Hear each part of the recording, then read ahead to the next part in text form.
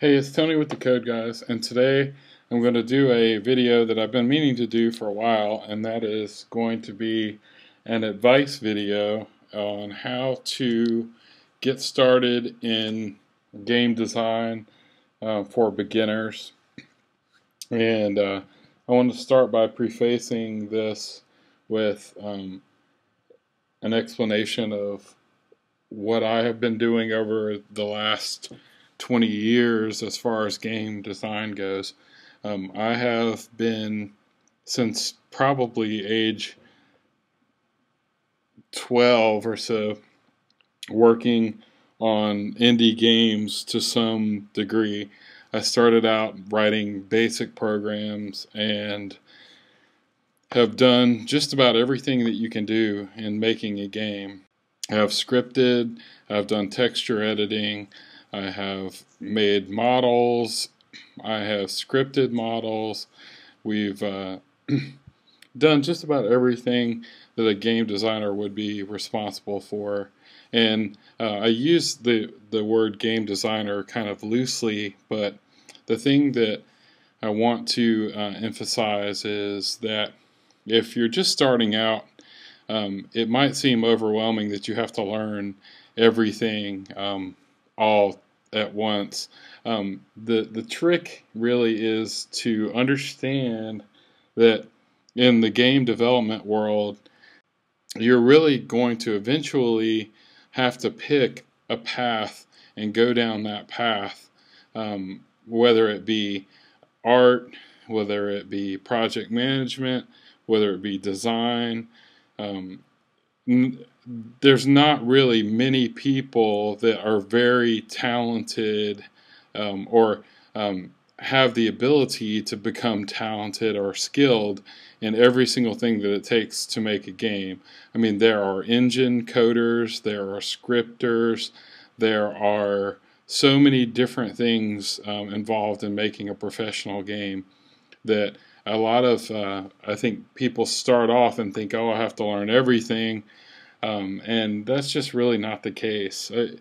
I, I have, um, over the years, fallen victim to wanting to do it all myself, and um, that's kind of held me back over the years. It's important to pick something eh, to try them all out and determine what you're good at or what you like doing, and then um, kind of going down that path. It's perfectly okay to try out each part of game um, development and see which best suits your um, interest level. So, the um, first thing that I would recommend is that uh, you start out with a, uh, and the reason why I'm sitting in Second Life is um, the whole sandbox mentality and where I am in the wor- in this world is in a sandbox it's a place where you can build and uh, move uh, 3D objects around, uh, create um, objects and script them, and eventually you can turn them into games. Second Life is probably the most flexible as far as um, the ability to log in and within minutes you're creating objects. I mean, uh, you literally can find a sandbox after downloading the software, and uh, there are simulations that allow you to build. Now, what you would learn inside Second Life um, would be 3D. Um, kind of 3D modeling. It's not really what you would be doing in the game development world, but it would get you working with primitives and um, also you would be working with textures. You can apply textures to your objects, and that's really important because uh, you can learn how um, you can learn min- many different things about textures.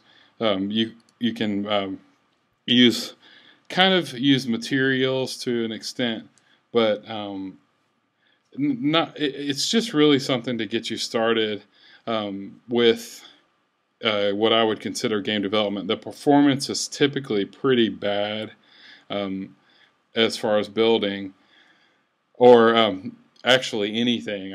On many of the PCs that I deal deal with, Second Life is really poorly performing, but you are able to build objects. You are able to, in this case, create scripts.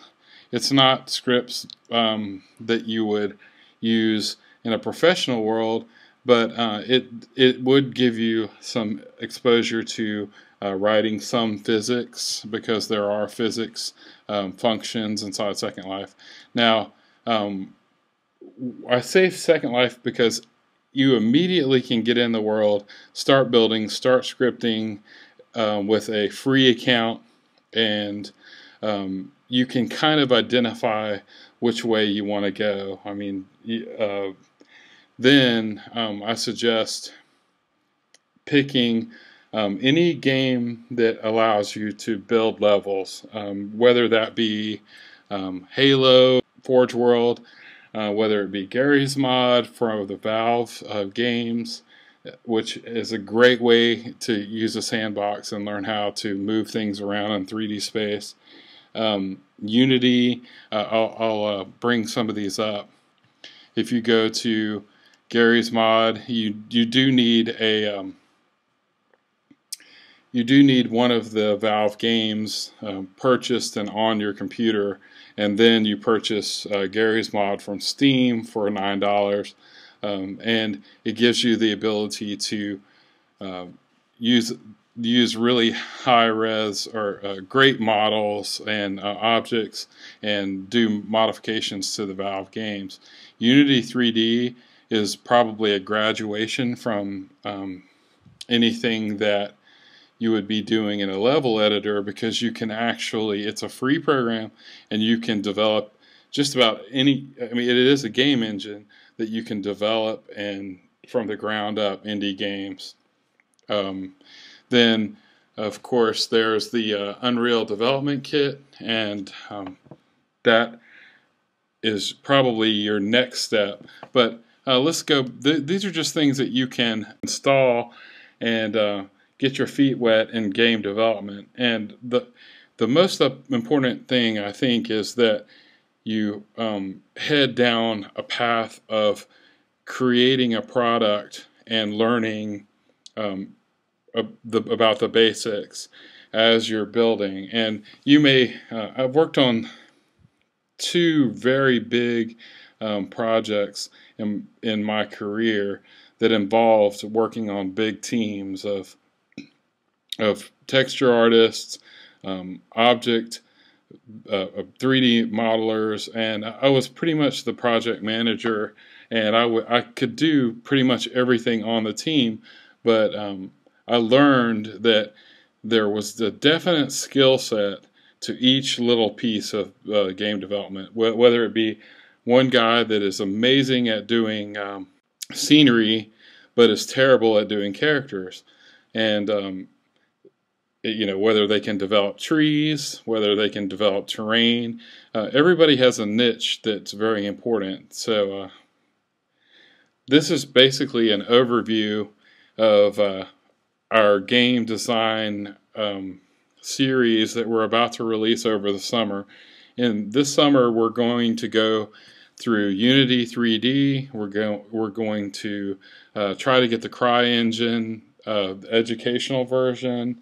Um, we're going to be going through Second Life and teaching you some of the gaming um, possibilities inside Second Life. As clunky as that is, it is very clunky, but um, it's definitely something that you can start off and get your feet wet with.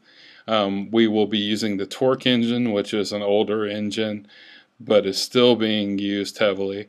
Um, these are all things that in a very short period of time, you can get these on your machine and uh, get up and running, writing some um, games or, or, or creating uh, game objects or writing code. So, um, I wanted to make this video to give you some exposure to some things that if you didn't know they exist, they are out there. Uh, you can jump in, grab them, and um, go. So um, please leave a comment on what would you like to see us do? Um, or if you have some game development projects that you're working on.